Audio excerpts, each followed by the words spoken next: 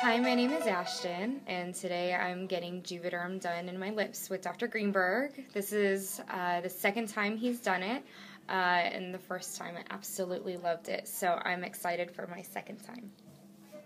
It's been 10 days since I've gotten the Juvederm filler in my lips.